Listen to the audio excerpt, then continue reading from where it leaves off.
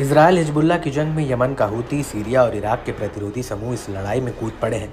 लेकिन इसराइल की इस जंग को लेकर एक खुफिया रणनीति है, जिसे पूरे मिडिल ईस्ट का समीकरण बदल सकता है। दरअसल मिडिल ईस्ट में ईरान ने इसराइल के लिए एक जाल बिछाया है, जिसमें तेल अवीव पूरी तरह फंस चुका है और इसकी शुरुआत 7 अक्टूबर 2023 को हमास के हमले से हुई थी। और उस वक्त इसराइल ने कहा था कि उस सांप का फन कुचल देंगे, जिसने ये हमला कराया है। आपको बता दें कि इसराइल का इशारा सीधे ईरान की तरफ़ था।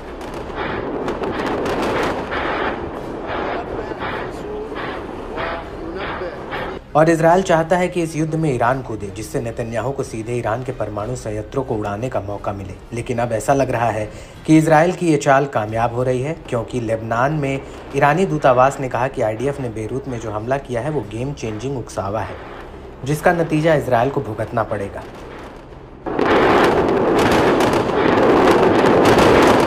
इसको लेकर ईरानी दूतावास ने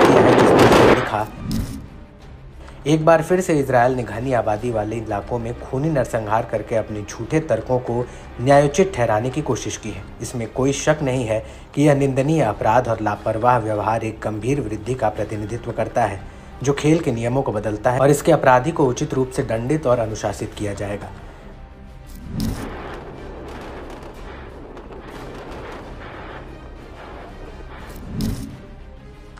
वहीं हिजबुल्ला ने इन हमलों को लेकर कहा कि बेरूत के दक्षिणी उपनगरों में नागरिक भवनों में हथियारों या हथियारों के भंडार की मौजूदगी के बारे में इसराइली कब्जे के झूठे दावों का खंडन करता है।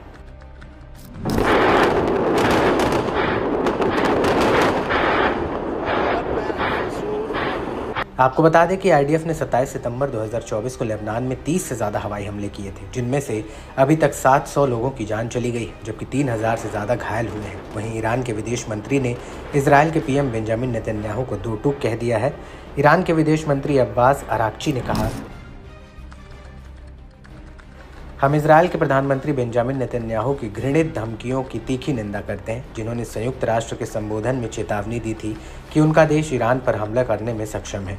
यह ऐतिहासिक शर्म की बात है कि हाई प्रोफ़ाइल हत्यारा संयुक्त राष्ट्र में आने और अपने घृणित झूठ और अन्य राज्यों पर आक्रमण करने और अधिक लोगों को मारने की अपमानजनक धमकियों के साथ महासभा को जहर देने की हिम्मत करता है।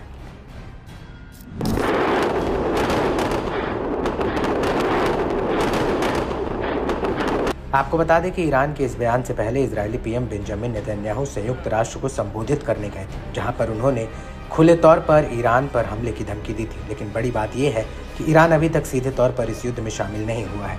वो पर्दे के पीछे से हिजबुल्ला हूती इराक और सीरिया के प्रतिरोधियों को हथियार और गोला बारूद सप्लाई कर रहा है और उन्हीं हथियारों के बल पर ये चौकड़ी इसराइल पर हावी हो रही है।